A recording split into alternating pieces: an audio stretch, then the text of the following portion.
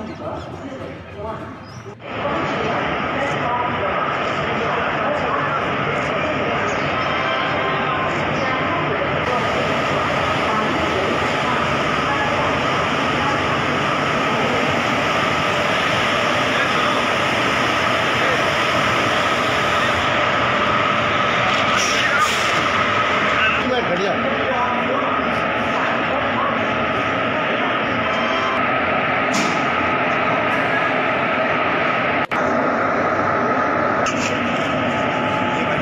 भी कर रहे भाई।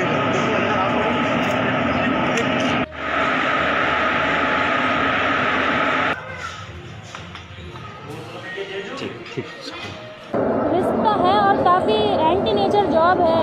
जब सब लोग सोते हैं तो आपको जागना रहता है नाइट में वर्किंग होती है। काफ़ी चैलेंजिंग जॉब है। मतलब किस तरह की लाइन पे फ़ील्ड वर्क है तो कभी ऐसे गाड़ी में सी आर भी होता है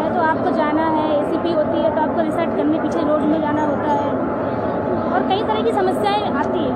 अच्छा अमूमन आज महिला दिवस के मौके पर ही आपको संचालन किया गया या इसका पहले भी आप करते पहले भी करते रहे हैं और आज महिला दिवस पे स्पेशली इस गाड़ी के आप कहाँ कमी महसूस करती हैं अभी जो अ, मतलब और भी महिलाएँ यहाँ इस फ़ील्ड में?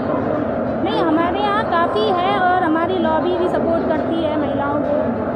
मैं 2015 से हूँ यहाँ। कितना चैलेंजिंग है? चैलेंजिंग तो है एंटी वेदर है मतलब बरसात हो या सर्दी गर्मी सारे मौसम में काम करना पड़ता है। रात में भी जागना होता मतलब सब सोते हैं हम लोग जागते हैं तो बहुत चैलेंजिंग है। तो है आपका घर का भी है किस तरह की दोनों सारी ज़िम्मेदारी किस तरह से मैनेज हो? जाता है घर को भी देखना होता है बच्चों को भी देखना होता है जॉब भी करनी है सब मैनेज करके चलना पड़ता है महिलाएँ कम है इस फ़ील्ड में आपकी दुनिया में आपको उनकी संख्या बढ़ नहीं झांसी में लग ज़्यादा ही हैं और जगह के कंपैरिजन में।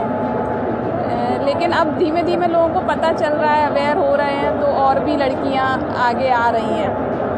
ज़िम्मेदारी? दोनों में ज़िम्मेदारी बराबर है।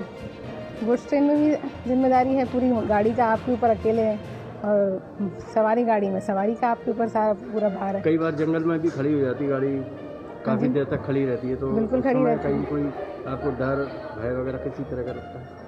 डर तो भैया सबको लगता है। ऐसा तो कोई नहीं है चाहे वो आदमी हो चाहे औरत हो सबको डर लगता है।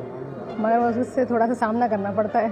आज महिला दिवस पर आपने ड्राइवर से लेकर गार्ड और तमाम सुरक्षाकर्मी महिलाएँ थी कैसा लगा आपको जो सरकार ने जो मौका दिया है इस तरह का? बढ़िया है तो बहुत अच्छा लगा। आपको लगता है आपकी ये चैलेंजिंग फ़ील्ड में महिलाओं की संख्या बहुत कम थी? बढ़नी चाहिए। धीरे धीरे वो भी बढ़ रही है अभी जितनी भी है। अभी धीरे धीरे स्टार्ट हुआ है धीरे धीरे ये भी बढ़ जाएगी। और भी आएँगी महिलाएँ इसमें। बाकी मतलब सब लोगों को देख के प्रोत्साहित हो रहे हैं महिलाओं के लिए? महिलाओं के लिए यही कहना चाहेंगे कि जिस हिसाब से कर रहे हैं सब प्रोत्साहित कर प्रोत्साहन कर रहे हैं सब लोग महिलाओं को। उस हिसाब से आगे बढ़ना तो उनको चाहिए इस फ़ील्ड में या किसी भी फ़ील्ड में।